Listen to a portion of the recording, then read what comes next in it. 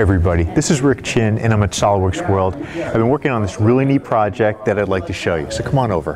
Hey, so last year we, uh, we, we, showed you our, our eDrawings product on, on iOS devices. The really cool thing that we showed you last year was augmented reality. So now we can actually take our design and put it in the, in the room with us.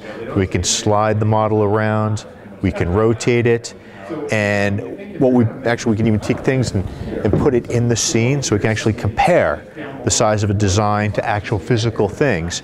Um, but the thing that we've done this year is we've created something called eDrawings Meetings. And this is a prototype, so it's not out that now released yet, but I have the ability to now connect multiple iPads together and share an augmented reality experience among multiple people. So I just shared this scene that I'm working on right now on the second iPad. So now again, I can continue working on the model by sliding it around, rotating. Maybe I want to cross-section it.